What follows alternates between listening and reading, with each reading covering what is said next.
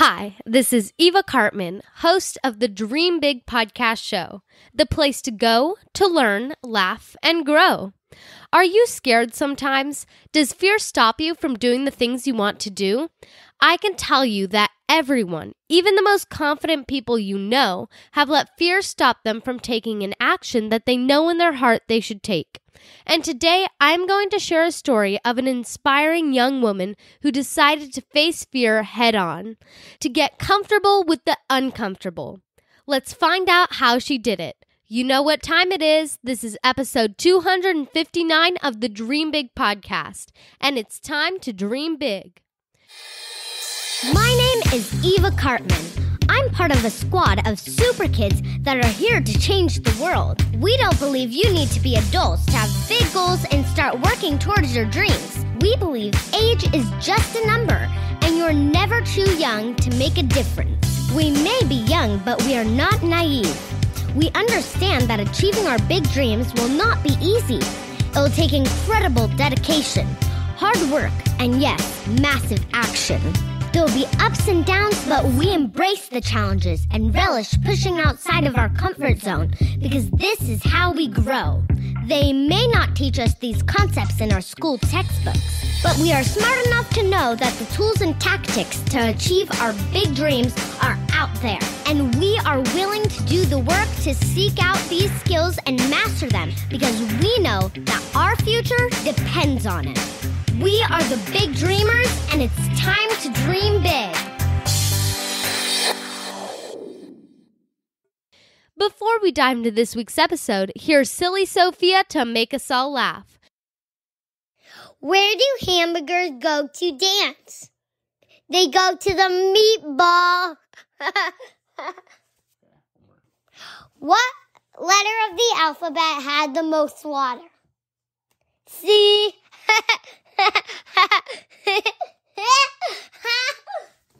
Thank you, Sophia. I am so excited to share how to get comfortable with the uncomfortable. But first, I wanted to give a shout out to some big dreamers who reviewed the Dream Big podcast Lily Papriki and Alexandria. Thank you so much for taking the time to leave a review.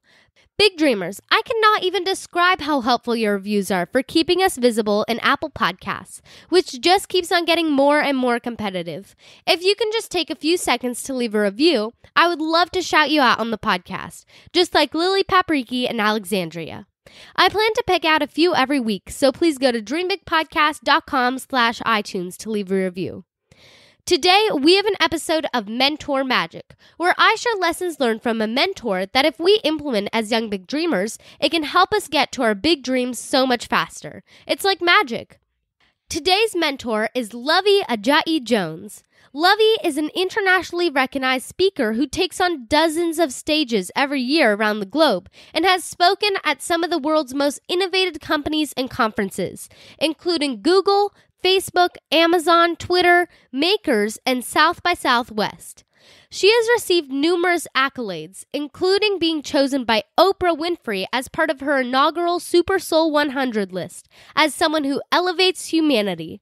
My family and I watched Luvvie's amazing TED Talk entitled Get Comfortable with the Uncomfortable, which I'll link to in the show notes at dreambigpodcast.com slash 259. Luvvie shares that when she was a child, she grew up dreaming of being a doctor. She even shows a slide of Doc McStuffins during her speech, which reminded me of my sister Sophia, who loves that show. I'm sure Doc McStuffins has inspired countless young girls to dream of being a doctor, but it turned out that when Luvvie grew up, she decided that she was not a fan of hospitals, so the whole doctor career wasn't going to work. She started blogging as a hobby and ultimately realized that her true purpose was to be a writer. But for years, she did not tell anyone that she was a writer. She was scared, fearful of not having a steady job with a retirement plan and a guaranteed paycheck. Luvvie knew that she had to push past these fears and went on a mission to do things that would push her outside of her comfort zone. She had never left the United States, so she took her first solo trip overseas and on her 30th birthday went ziplining in the Dominican Republic. She was so scared of being submerged in water, so she went to Mexico and swam with dolphins underwater. She was scared of heights, so she went skydiving. That feeling of being on the edge of the plane and deciding to jump helped build confidence in other areas of Luvvie's life as well. She embraced the fact that she was a writer and wrote her first book. She started publishing articles calling out injustices rather than being silent. This central theme of Luvvie's speech was how important it is to get comfortable with being uncomfortable. And a lesson that I took away from her speech is that you can start building that muscle, that muscle of being willing to step outside of your comfort zone, even if at first it's not the most important fear that you have to face. So for Luvvie, that fear that was impacting her big dream was a fear of admitting that she was a writer and that was her true purpose. But the way she started getting comfortable with the uncomfortable was by going ziplining, underwater swimming with dolphins, and skydiving. These experiences helped her build up confidence that she was capable of facing her fears, and ultimately she applied that in her career as well, blossoming into a best selling author and one of the most charismatic speakers I have ever watched.